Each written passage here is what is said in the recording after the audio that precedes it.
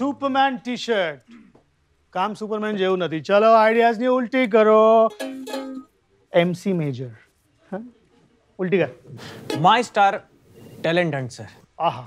જેની અંદર હશે vote out audition elimination public show too expensive તારા પપ્પાનું બજેટ આપવાના છે? બીજો આઈડિયા આવાજ દે કહા હે તું? આહા. હા સર આવું સ્પાર્કલર ચલાવીએ આપણે. This is not our flavour cancel તું બોલ આરસો સર એટલે સર આપણા એક્ઝિસ્ટિંગ સેગમેન્ટ્સની આપણે સ્ક્રિપ્ટ લખાવી જોઈ લખી શકે છે કે નહીં? અને જો સારી લખાઈ જશે તો યુઝ પણ થઈ જશે. માઇન્ડ બ્લોઈંગલી ટાઈમ કન્ઝ્યુમિંગ છે દોસ્ત. તને કામ ન કરવાનું એક બહાનું મળી જશે એટલે નહીં. Then give me some good news sir આપ આપણે શાંતિથી ઇન્ટરવ્યૂ કરીએ ને. આ બધું શું હન્ટ વન્ટ છે રેટિંગ્સ વધારવાની છે. જેમાં તારું કોન્ટ્રીબ્યુશન ઘટી ગયું છે with all due respect bro અને તમે? સર મેં એકચ્યુઅલી આજ બધું વિચાર્યું હતું. બધું આવી ગયું. દયાની મૂર્તિ એક કામ કરો. એને જમાડો ઊંઘાડો અને પછી તમે ઊંઘી જાઓ. હા? મને લાગે છે મારે આ વગાડીને રસ્તા પર ભીખ જ માંગવી પડશે. નહીં? બાય સર બોલ. એક આઈડિયા છે સર આઈડિયા તારી પાસે?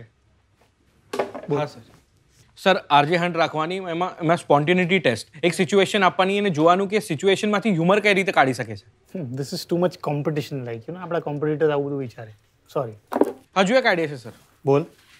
ન્યૂઝપેપર હેડલાઇન આપવાની અને એ- એ- એમાંથી આસ જેમ to describe through a song or a dialogue this is not આ ફ્લેવર એક કામ કર તું આવ વગાડ સર હજુ એક આઈડિયા છે. શું? સર નોલેજ ચેક કરીએ. સોંગ્સ ક્રિકેટ મૂવીઝ આ બધા પર છે ને પાંચ ક્વેશ્ચન પૂછવાના અને જોવાનું કે જનરલ અવેરનેસ કેટલી છે. એમાં આના જેવા લોકો છે ને ગૂગલ કરીને જીતી જશે. ટુ ઇઝી રેપિડ ફાયર કરશું ને sir?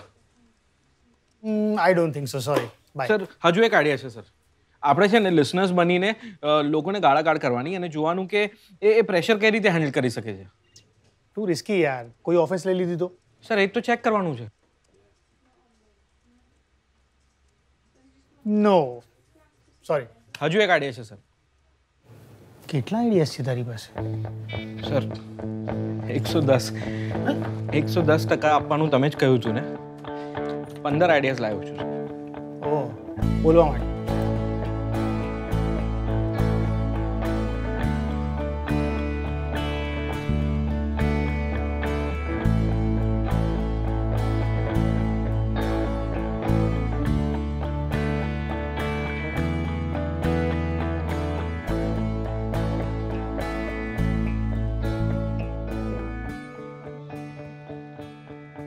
તખલિયા ડિસ્પર્સ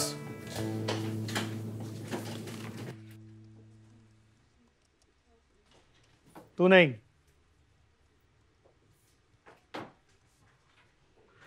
મેં છે ને આ ફિલ્ડમાં વીસ વર્ષ કાઢ્યા છે.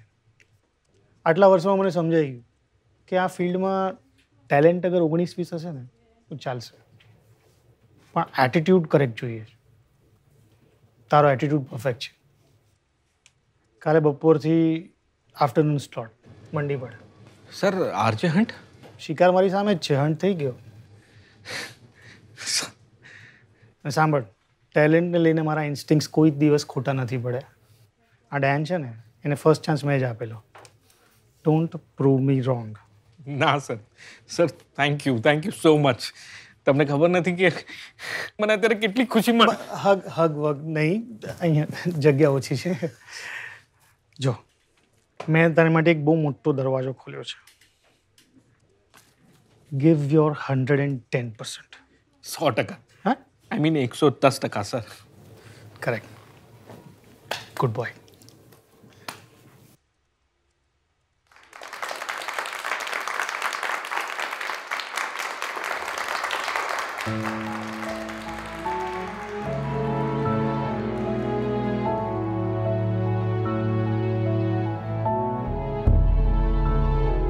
ફર્સ્ટની મજા છે ને, અલગ જ છે.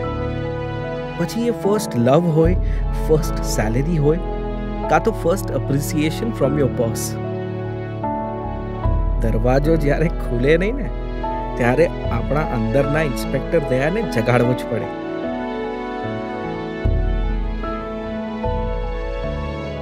એકસો દસ ટકા આપીને મેં આરજે બનવાનો દરવાજો તો ખોલી કાઢ્યો. અને હવે બાકીના દરવાજો ખોલવાનો દસ ટકા કોન્ફિડન્સ તો આવી જ ગયો છે.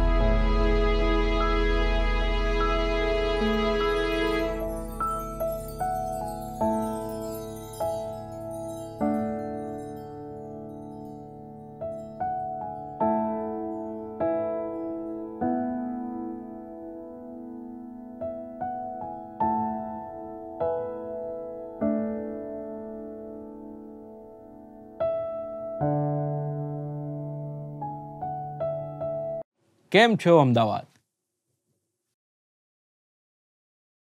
તમે વિચારતા હશો કે આરજે મિતાલીની બદલે આ કોણ આવ્યું? તો હું તમને કહી દઉં. મારું નામ છે આરજે ફાલ્ગુન. ગભરાશો નહીં કારણ કે આરજે મિતાલીની જેમ હું પણ તમને બોર થવા નહીં દઉં. અમદાવાદથી લઈને બોલિવૂડ સુધી ગીતોથી લઈને ગોસિપ સુધી બે વાગ્યાથી લઈને પાંચ વાગ્યા સુધી જમાવટ કરાવવાની જવાબદારી આજથી મારી. તો મિત્રો, આપણે શરૂઆત કરીએ એક સરસ મજાના થોટ સાથે. સપનાઓના દરવાજા ત્યારે જ ખુલે છે જ્યારે આપણે હકીકતને સ્વીકારીએ છીએ અને સો ટકા રિઝલ્ટ ત્યારે જ મળે છે જ્યારે આપણે એકસો દસ ટકા એફર્ટ મારીએ છીએ.